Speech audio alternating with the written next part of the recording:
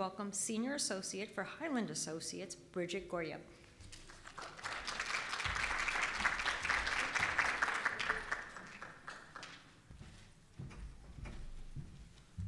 Hi, everybody. I'm Bridget Gorieb. I'm with Highland Associates. We're an architectural, engineering, and interior design firm located in Clarks Summit, Pennsylvania.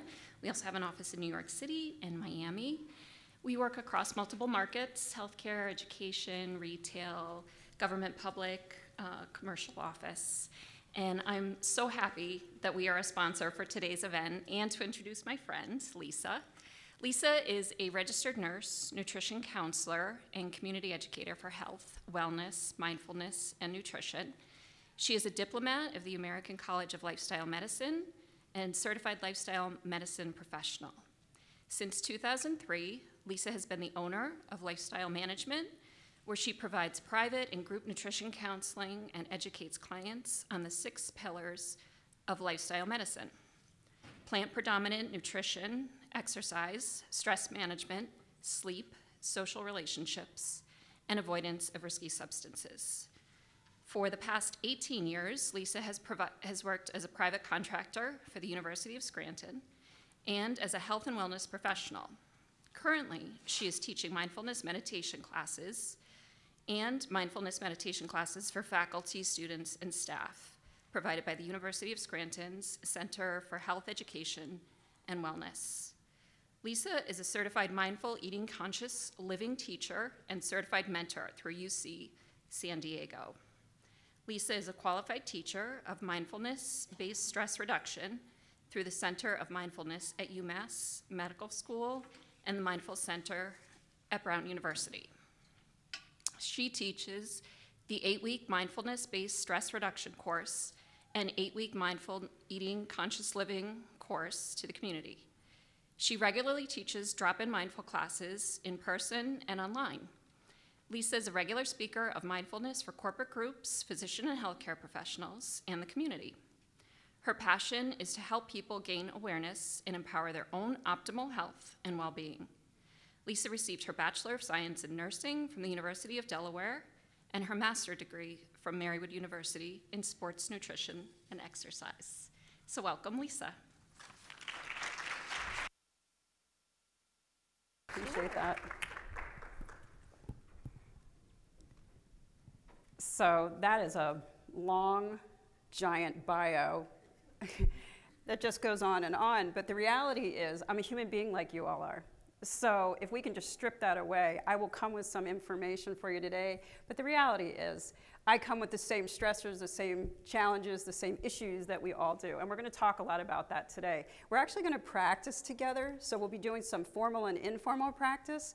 So with that, if you can silence or turn off and take off your person, your weapons of mass distraction. Um, it's helpful. I'm actually going to take mine off as well because the potential for one of my adult babies to call in the middle of something is pretty common. So I'm going to take that off.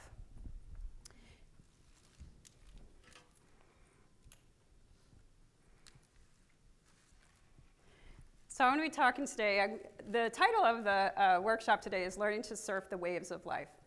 And the reality of this is all of us have to deal with different challenges, and the metaphor of a wave excuse me, the metaphor of a wave might be a common thing. So, you know, if you've ever gone to the uh, beach and you get into the ocean and it's up to your knees, not so bad. Things kind of are a little rocky. That's kind of like when you get a text that's a little annoying, perhaps. Kind of look down and it's like, uh, not sure that I want to deal with this right now. Or you step a little bit further out into the ocean and you start getting jostled around a little bit. And that might be something that's greater, more of an issue. Maybe doing a lecture in front of a group of people, or that could be getting sucked under the wave, maybe for some. Um, or something that's really deep and difficult a loss, a tragedy, economic challenges, any kind of issues that would be really, really difficult to deal with, maybe caregiver issues, or the collective trauma that we all just experienced for the last two years of COVID. Each one of these things is part of our lives that we cannot walk away from. Maybe it's a health diagnosis, for example. We can't get away from these things. They are part of who we are. And so, how do we bring some way of well being to our lives? One of the ways is through mindfulness. Mindfulness is a practice, not a perfect. And so you'd be practicing mindfulness, meditation, particularly regularly. Today, I'm actually going to do a little practice with you and we're going to interact a bit. And then at the end, I'm actually going to give you some basic um, strategies. They aren't formal practices of mindfulness. However, they are practices that you could do anytime, anywhere, so that you could utilize them regularly. Okay? And then I'll leave time for questions if you so wish at the end, and then I'll also be available afterwards if, if you're interested in that as well.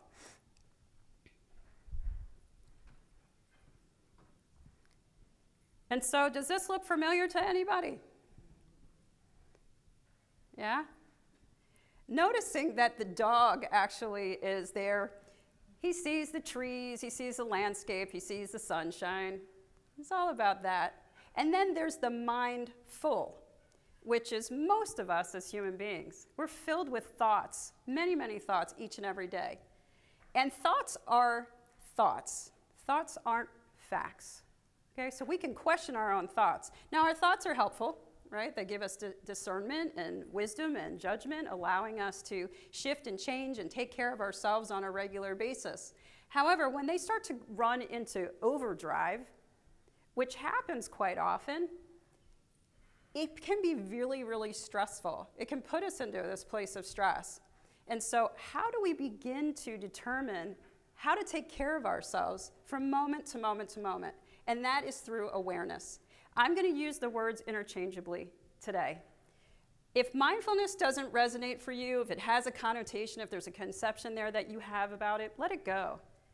And just notice that awareness is the way of being that allows us to start to settle and to calm ourselves.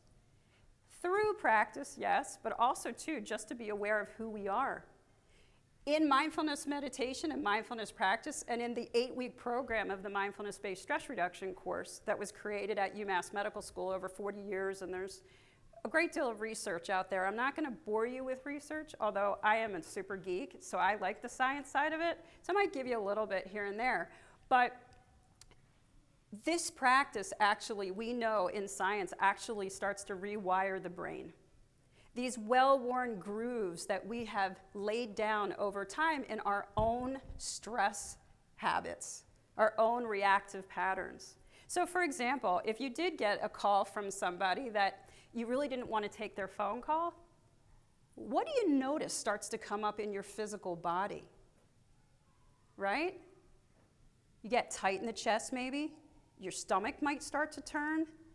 Your thoughts might start to go. A sense of anxiety might rise. You might start to notice sweaty palms, the heart race. Many things happen in our physical body. The beauty of being aware, dropping out of this filled head is to drop into the body. What's interesting about this is our minds loved to teleport to the past. So we do R&R oftentimes. If you ever had a conversation with somebody, we call it R&R, which is basically review and regret. So you go back into the past and you try to replay it and figure out how what you're going to say next and what you're going to do. Or you time travel into the future and if you're somebody who time travels into the future, it's worry thinking, it's anxiety, trying to control everything that happens in the future, worry, worry, worry, and then half the time the things that you're worried about never actually come to pass, right? So, this is part of this understanding what the mind does, but it's normal and natural and okay. However, the body is always in the present moment. Our bodies are always in the present moment. It's this innate quality of being that we have where we can actually tap into our own physical sensations of the body to recognize, oh, yeah, I'm right here. My mind might be in the past, can't do that. That's the no longer. The mind might want to travel into the future. That's the not yet. That hasn't happened yet. So we are right here, right now. And the only way that we can truly know that is to pay attention, to be aware. The only way we can do that is to start to notice our thoughts, our emotions, and our physical sensations from moment to moment to moment. It allows us to gain a sense of strength and resilience and power in our own way of living.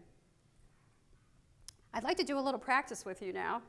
Um, I'm going to leave this slide on. We're going to do a little sound practice. So I would invite you throughout the rest of the time, if we're doing practice, to be hands free. It's really helpful to notice when your hands are touching something, also, it separates you from the direct experience. Now, you don't have to do it. Nothing that I say you have to do. It's just an opportunity to practice and try it out. So, this quality that we all possess is always with us all the time. It's only one breath away.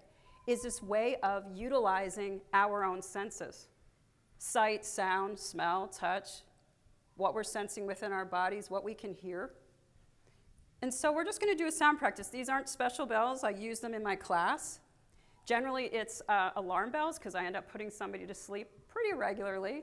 So I use them to wake people up. But we're just going to do a practice now, very simple practice. You don't have to close your eyes, you don't have to do anything special. All I'm suggesting is that you listen to the sound of the bells for as long as you can hear them. Okay? I'm going to ring them a few times.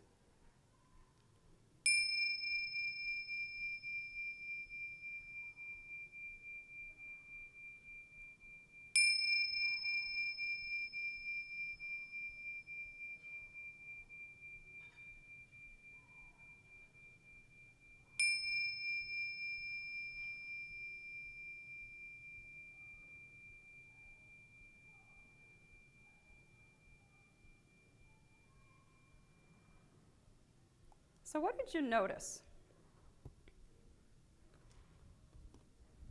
There's no right or wrong answer. You can just yell out whatever you notice with that.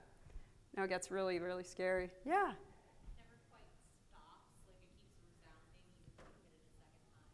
So you notice this wave of sound, and it didn't stop for you. What else? Thank you. Yeah. The first time that you rang the bells, I, my mind was distracted by the music over there. Okay. So you brought your attention back to the sound. Other people notice that? Yeah? That's awareness. This recognition of sound, the noticing and coming back. That is the awareness practice. And that builds resilience and strength. What happens is our minds constantly are going backward and forward, constantly. The coming back, the ability to return over and over again, is this capacity that we have to start to notice what's happening in this moment. Now, we can certainly be an automatic pilot, which many of us are, but what actually helps us is this awareness.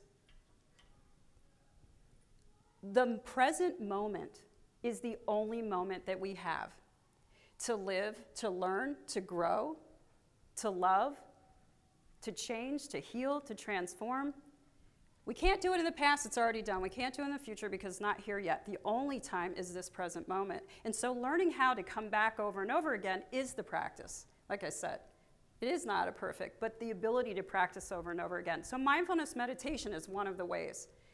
The mindfulness-based stress reduction course is simply the eight-week course, intensive course of this practice. But you can get an app and practice regularly if you wish. You can go online. There's plenty of courses online or classes online. I teach them in person as well. Beginning just to tap into this ability, this innate quality, this wisdom that we already possess. How many people in here have tried to meditation before? Yeah? Anybody regular meditators? Yeah, a few? Yeah. Anybody have that thought in their mind like, oh, I can't do this? My mind is always going, right? Our mind's job is to think, it is its job. So the misconception oftentimes is I'm going to blank my mind out, I'm going to clear it out. I want to go relax. I'm going to sit down and meditate and I'm going to relax. Have fun with that. go ahead and try and come back and tell me. Because the reality of this is the mind is going to think. We allow it to think in mindfulness meditation. What our hope is that we don't get carried away and run down the rabbit hole, that we recognize thoughts as thoughts and let them pass through the field of awareness. It gives us this opportunity to come back over and over again without caught, getting caught up. But we get caught up anyway. It's just part of us as natural human beings. In evolution, we need to think in order to get us where we are today. It's wonderful for discernment, it's great and wise. It's when it runs out of control. It's when we think we can control everything in our minds, we can fix and change it. But how often does that happen? You have a problem or situation in your life. We can think about it all we want, but does it change the problem or fix the problem? Oftentimes not. Right?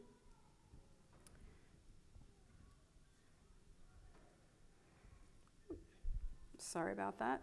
Upside down. So, mindfulness is the way, one way, to change the neuroplasticity of the brain. Our natural habit patterns are well worn grooves from the early ages of childhood. And certainly, it's not about blame or anything. It's just that we get into a natural habit pattern. My natural habit pattern is jumping to the future. I'm in the worry, thinking, anxiety category. Okay? So there's this natural way of who we are. If you're somebody who reminisces, worries about the past and things like that, that's that side of us that's kind of melancholy or depression side. I'm not saying that it's clinical. All I'm suggesting is it's our own way of this balance that we go through. So you might notice what your own habit patterns are and know what that is. So if I get a trigger, let's say I get a call from my mom who's dealing with my dad who has Parkinson's right now, which is really difficult. They're far away. I'm a nurse, adult child at home. Here in Pennsylvania, they're in Florida. Makes it quite hard. There's a lot of moments when I feel helpless and I cannot help them there. So when I see that call on the phone, immediately I get a reaction. But now I'm aware of it. My chest gets tight, I get worried. My first thought is, oh God, what happened now? He just fell and broke his hip recently, so there's, a, there's this worry there, right? So, what do I do? How do I manage that? I utilize practice as much as possible in those moments. So before I pick up the phone and rip it up and start talking, I actually breathe just a few moments. I check in with how I am so that I can actually be as present as possible for, the, for her, even though there's nothing more that I can do oftentimes there's nothing that we can do. So we start to surf our own possibilities, our own way of being. That is a trigger. In the past, my trigger, when I would see that phone call come through and I'd see mom on the, on the phone, after dealing with whatever situation, I would head right into the pantry and be eating. And that was the way I dealt with it. And so the reward was, oh, yeah, I feel better. I start crunching. The crunching makes me feel good. It makes me re- relax. But about five minutes later, shame and guilt starts to come up because I just ate a bunch of stuff that I probably shouldn't have eaten, right? I'm not that hungry. That triggers once again. So that's called a habit loop trigger, behavior, and reward. So, how do we interrupt this? We interrupt it with mindfulness. So, I'd like to do a little practice with you now, if you don't mind. We're actually going to practice formally. I'll do it standing, and you all can stay seated. It's generally done lying down, believe it or not. And for those of you who have difficulty sleeping at night, even though we try to do our best with intention to stay awake and alert, it is a very helpful practice to help people to fall asleep. So, I'm going to do it in a very brief couple of minutes, but you can go online and find a body scan, that's what we're going to do, and try it out for yourselves. So, the practice of mindfulness with the intention of being awake and alert. So, what I would say is if you can put your feet flat on the floor, it's helpful to ground yourself. And if you're noticing that anything is crossed, fingers, hands, arms, or ankles, if you can, just allow them to rest flat on the floor. Arms just can be, hands can be flat on the, the lap if you want, or resting gently. And if you choose to, you can close your eyes. You don't have to. Allowing your eyes to close or simply falling downward softly towards the floor, resting and unfocused, returning as you breathe out. Or you might be aware of the breath in the nostrils. The feeling of air moving past the nose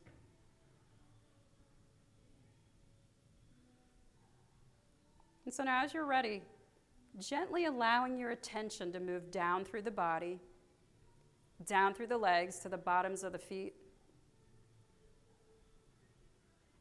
Noticing any sensations that are here present at the bottoms of the feet, the feet themselves.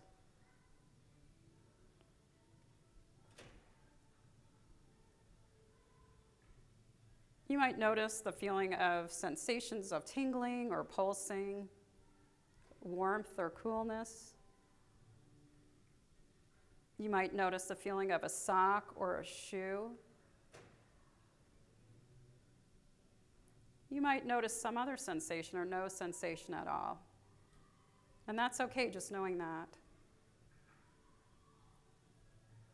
And you might find that the mind has wandered already into thinking. That's okay. Simply knowing that the mind has moved off the body and the breath and guiding it back to notice sensations at the feet.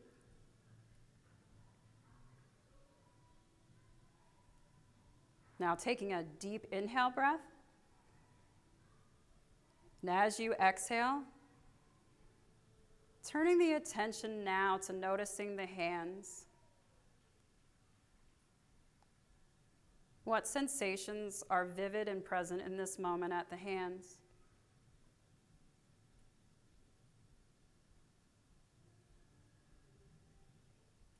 Perhaps you notice blood flow.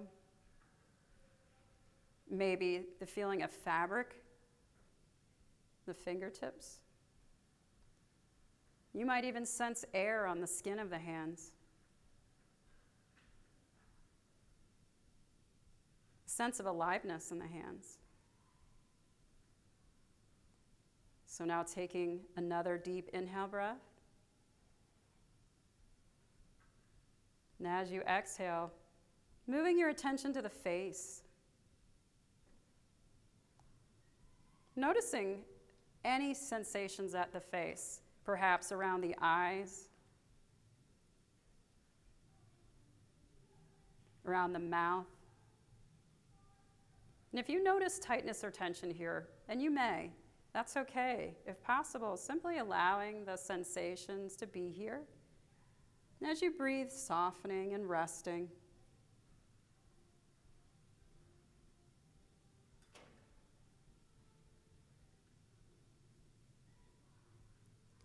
Once again, taking another deep inhale breath. And gently exhaling. allowing the air to simply leave the body. Turning once again to your own breathing, riding the rhythm of your own breath.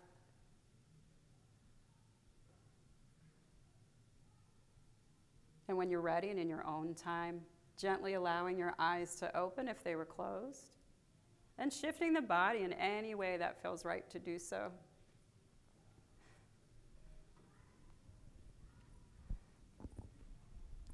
So,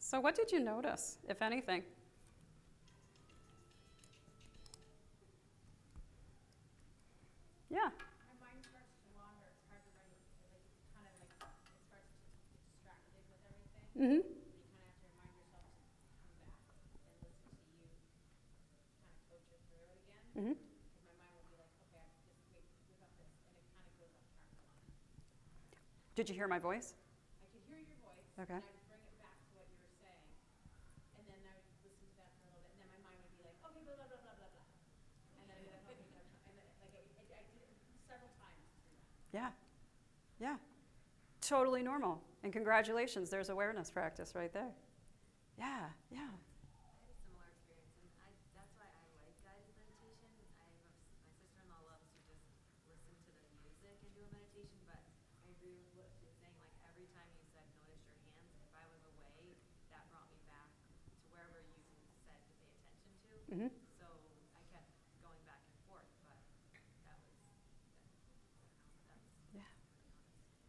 So you were able to come back and forth.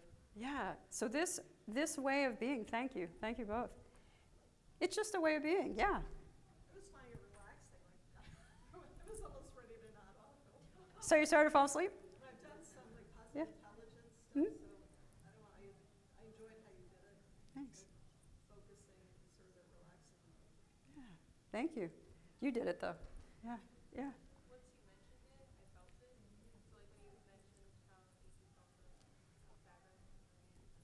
Noticed it. So you were aware of it, you kind of heard me, and you were just like, oh, yeah, there is some sensation here. Yeah, this is, this is all new, right? It's like learning a new language. Thank you.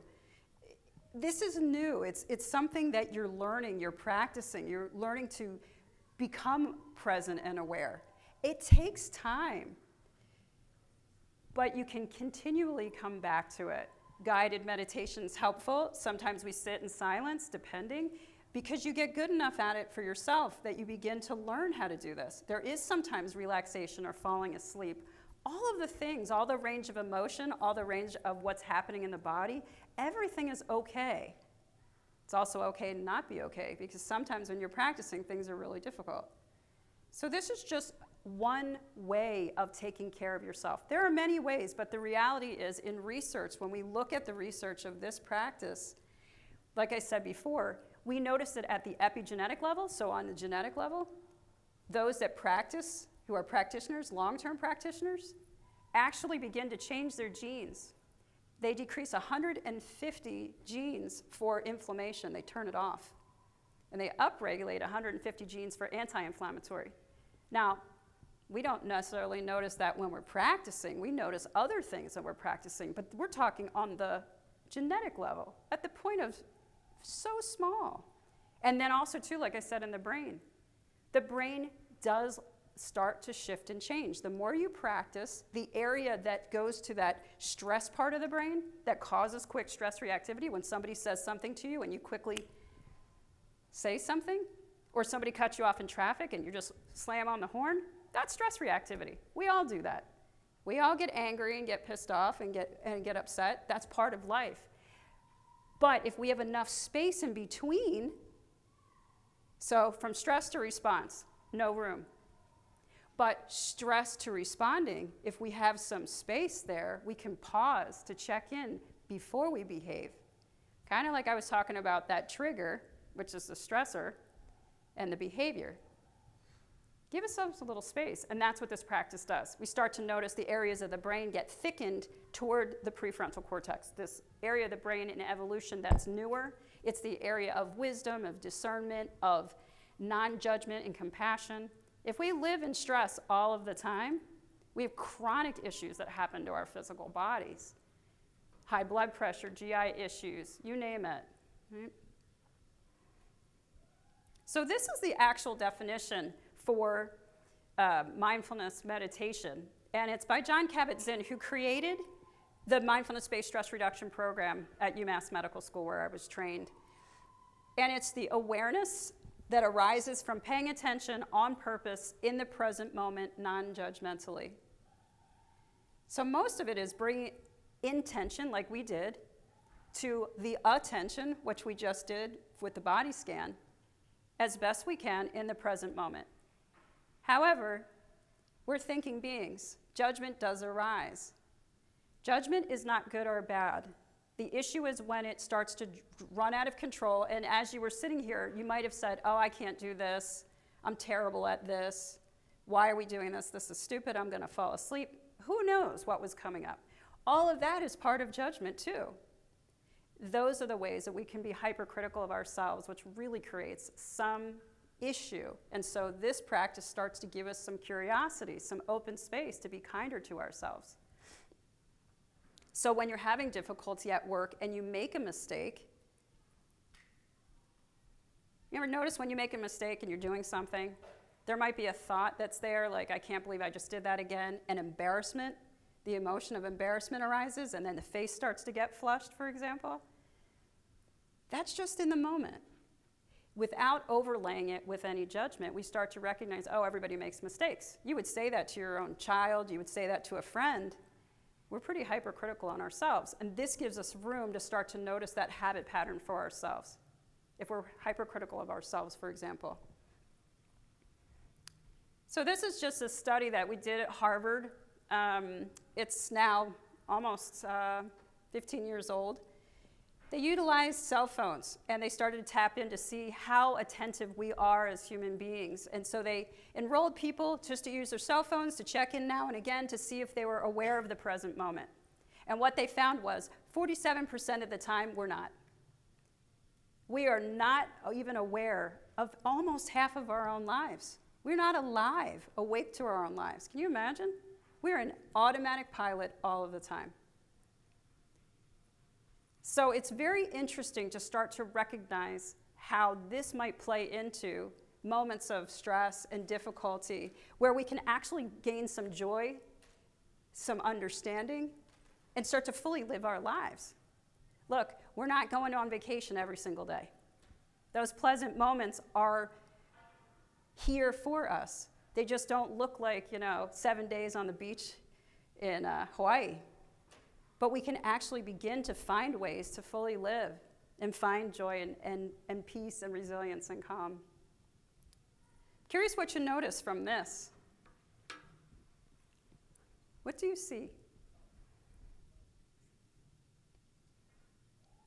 Anybody? Two faces? Does everybody see? Who sees two faces? And a vase. Some people see both. Vase? Yeah. So two faces, a vase, some people see both.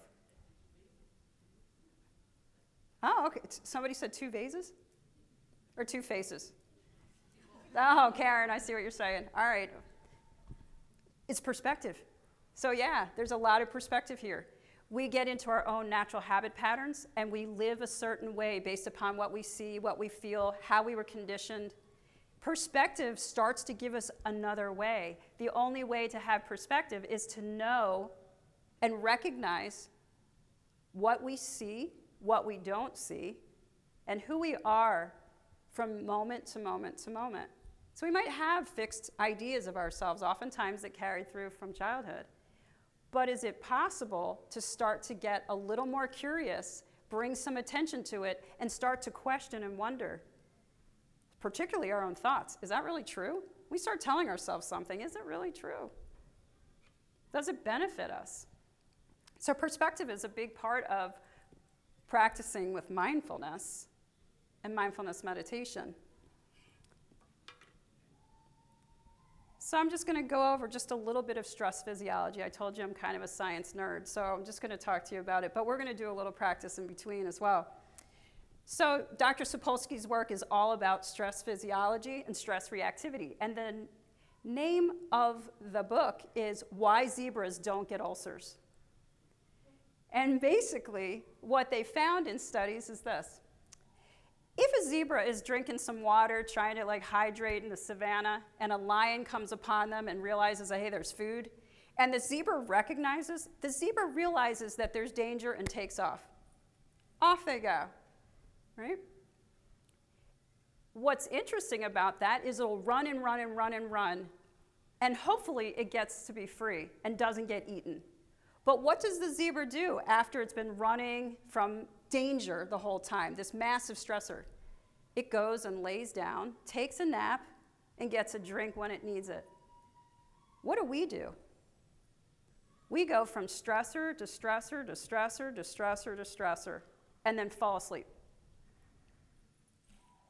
We don't sit down, we don't take a break, we don't check in with ourselves. I'll give you an, an example of this. When I was working in trauma, I worked at trauma center in Philadelphia. So I worked in a, in a gang unit where there was a lot of knife and gun club, a lot of head traumas and beatings.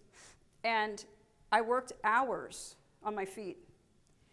Oftentimes, I would go all day and drink eh, a little bit, maybe go to the bathroom in a 12 hour period, maybe once and then I would have to deal with all these stressors of people coming. And I would wonder why I would be getting irritated with people and anxious and angry and short. It's because I wasn't paying any attention to my own needs. And this is what happens for all of us, particularly if you're caregivers. Children, of adults, of anyone, of yourself. You're caregiving for yourself, and we just don't pay any attention. But the physical body can give you information. If you just feel this not rightness, pause for a minute, take a breath, and check in. Even in that brief moment of taking a breath, you might just need a drink of water, you might have to go to the bathroom, you might need a hug, you might need a cup of tea, you might need to go lay down, you might need to talk to a friend. This is attention and awareness practice, which is where mindfulness comes in.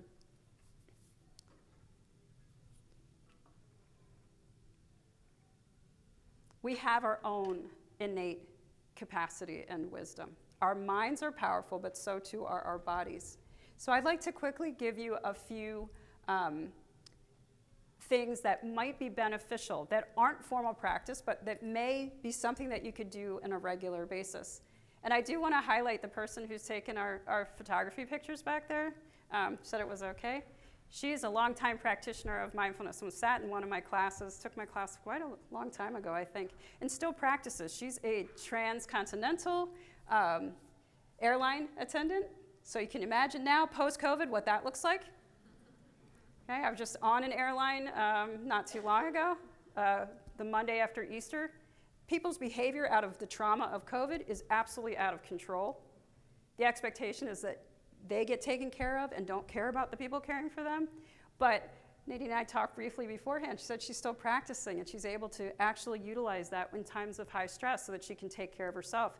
And now started to take off a day during a one day during her period of time so that she can take care of herself to fill herself back up because she recognizes that she needs it. So I appreciate you allowing me to share that story. So we're going to do something called 578 breathing. We're going to do it in three cycles. The three cycles take one minute. Okay? I'm going to guide the first round, but I'm going to tell you how to do it first. You're going to breathe in for five, you're going to hold for seven, and you're going to release for eight. The release for eight is a longer breath out. We're going to do it the second round. I'm going to say, breathe in for five, and then I will say, hold for seven, and then I will say, breathe out for eight. And then the last one I'm going to allow you to do on your own. And when you're done the last one, just come back to your natural rhythm of breath. You can do it with your eyes open, eyes closed, it doesn't matter. You could do this standing in the grocery line or driving. You can do this anytime. And so let's begin. We'll take in a deep breath for five. One, two, three, four, five. Hold for seven. One, two, three, four, five, six, seven. Release for eight. One, two, three, four, five, six, seven, eight. Breathe in for five. Hold for seven. Release for eight.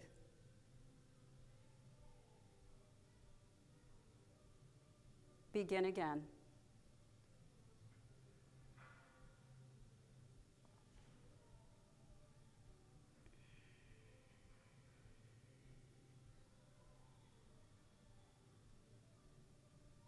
And allowing your natural rhythm of breathing to return.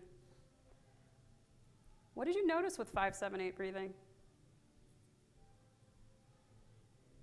Anything? Yeah.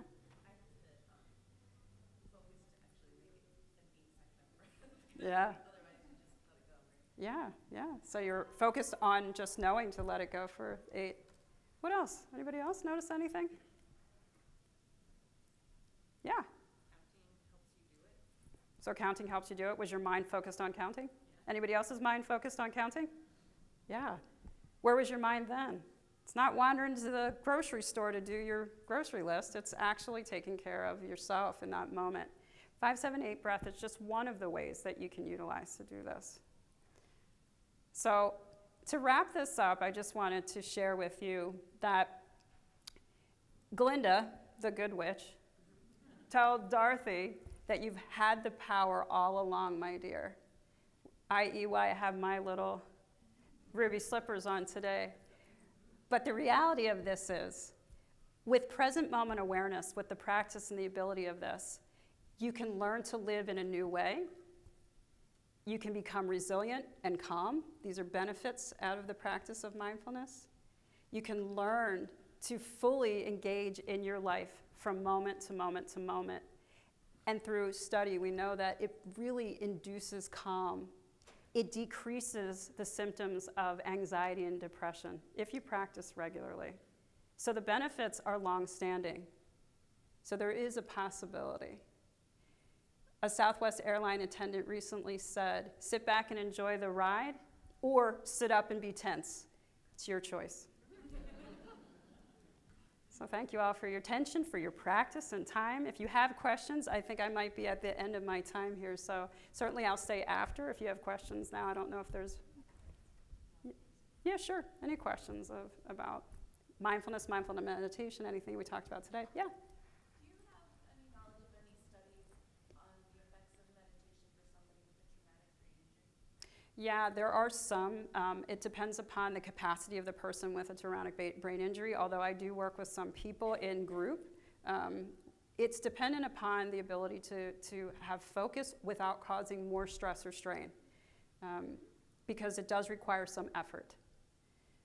So there's, but there are, there are many people that, particularly with ADHD and ADD and things like that, where there's fo- focus and attentional deficit areas, this practice is very good, but it depends upon the capacity of the person with a TBI. Yeah, but thank you.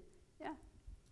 Um, s- does the, I guess the presence of like, um, wanting to go to sleep, like when you do the mindfulness, does that say, oh, the person is just drained, or is it like an attention thing, or is it, you just get into a point of restfulness in your body that it's not, you know, I don't know, Yeah. like the sleep is just like, you can't do this.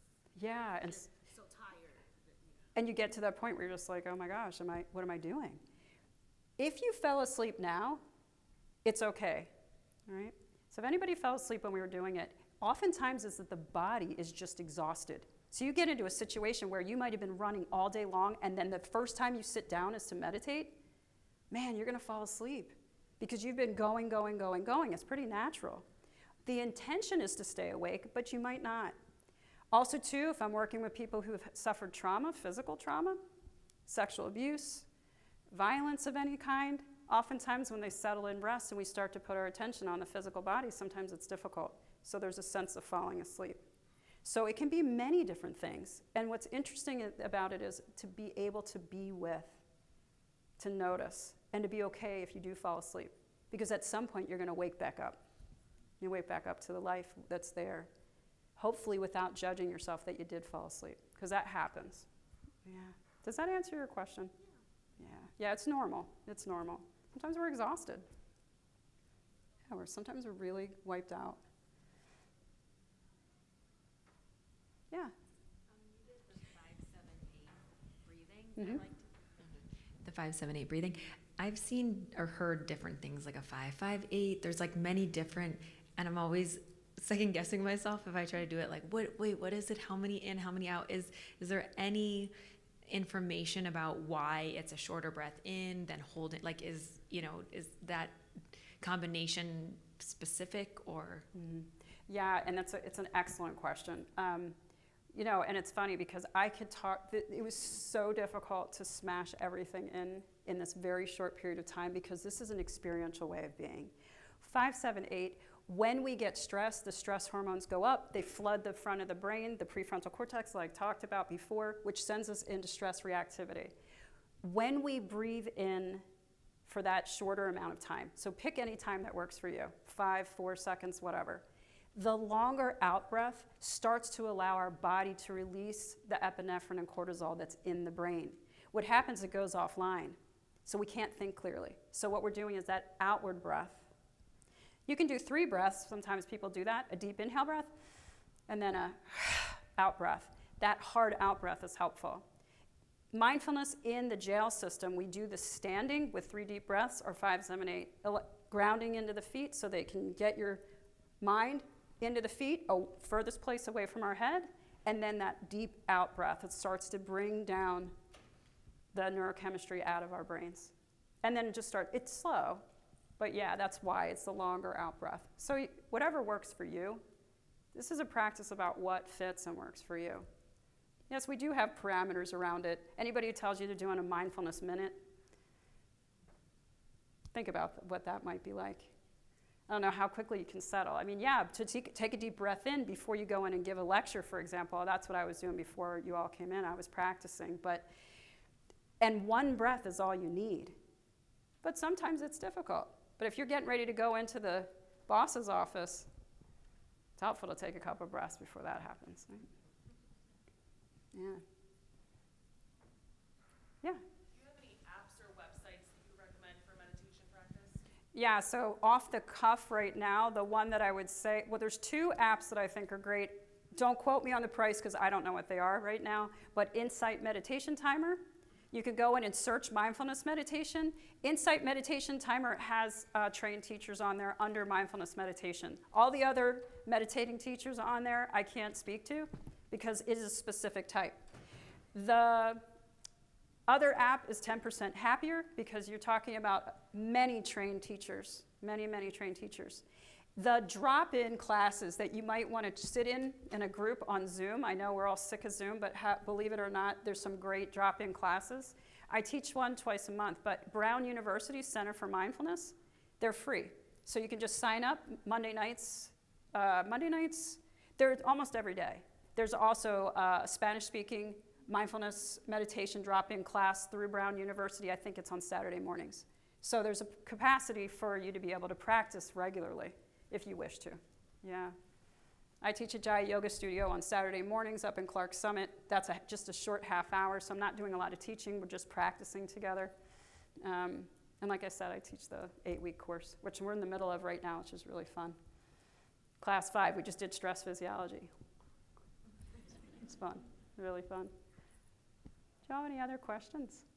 I'll stay after if you do. I know you have another breakout that's coming up, but I'm certainly happy to stay. You do. Thank you all.